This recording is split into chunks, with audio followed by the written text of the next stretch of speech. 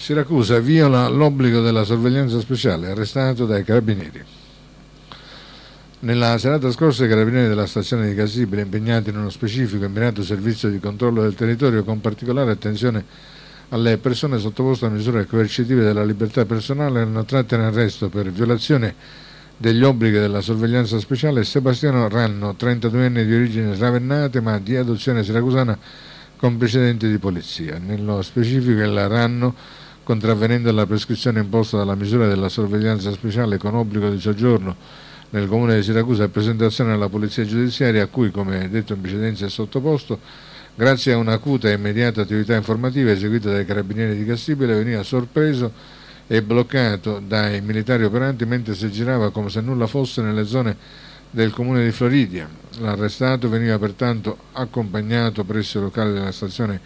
Carabinieri ultimate le formalità di rito sottoposto al regime degli arresti domiciliari presso la propria abitazione come disposto dall'autorità giudiziaria competente.